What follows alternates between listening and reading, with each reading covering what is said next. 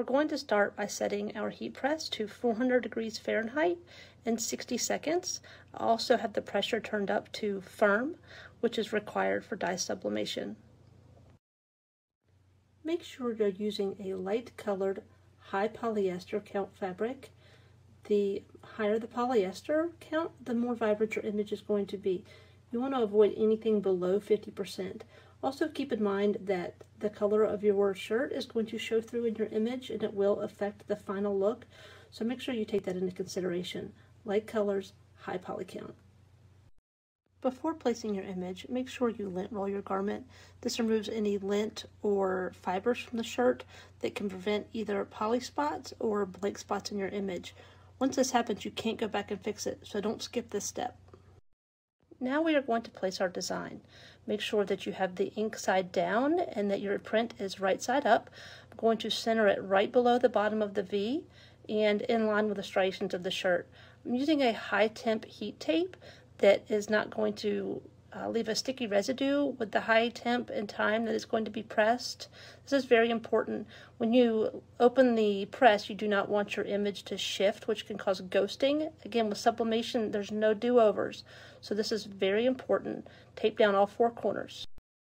Before I press, I'm going to add paper between the layers of the shirt. I want to make sure that I'm using pieces that are larger than the design itself. I'm just going to place it inside. This prevents any bleed through during the sublimation process. This ink will bleed through the shirt onto the other side and you'll be able to see it on the back if you don't do this. You can use copy paper, you can use butcher paper, but you want to make sure you're using something that's blank. And I just want to make sure that I've got it centered behind that design. So now it's time to press. To make it easy to transfer it from my table to my press, I fold my shirt up around the image.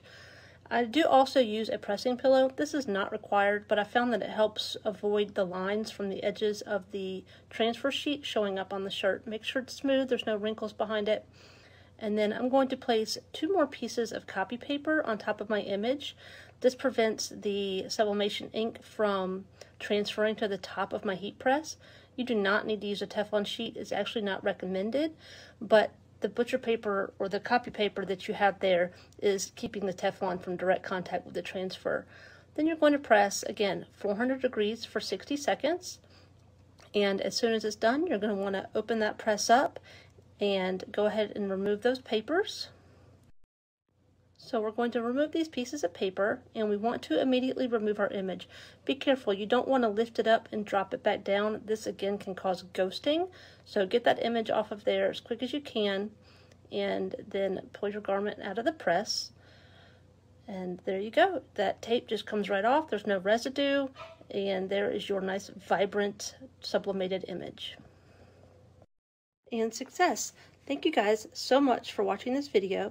If you have any questions about the sublimation process or where to get any of the things that you've seen, do not hesitate to ask. Thanks again. Have a good day.